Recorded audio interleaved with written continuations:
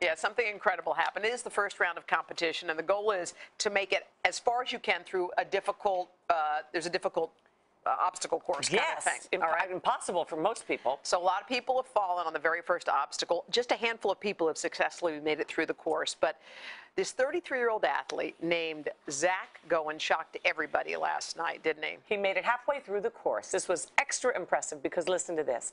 He lost a leg to cancer when he was only eight years old. Wow. But he chose to compete without his prosthetic leg, which would have helped him with balance, but he just wanted to show what is possible. Yeah. So take a look at his run on the course last night. I think getting one step would be a huge victory. Boy, you can do what it. Look at that! What? Talk about boosties. Matt, he's doing the one-legged balance right here.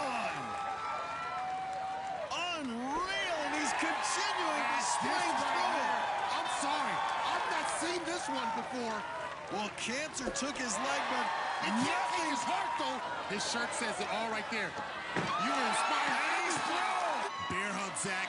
Bear hug, Zach. Come on, hold on. Come on, bear hug. Bear hug. Come on. Yes. Unreal. What? Come on.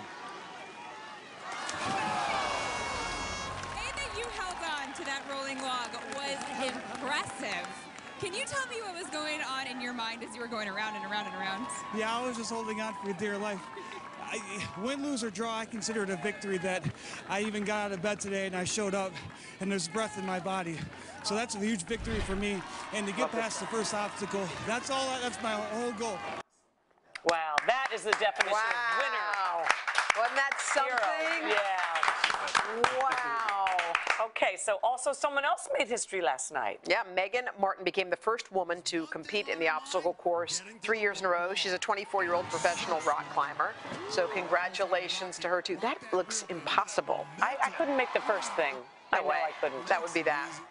Hello, Today fans. Thanks for checking out our YouTube channel. Subscribe by clicking that button down there and click on any of the videos over here to watch the latest interviews, show highlights, and digital exclusives.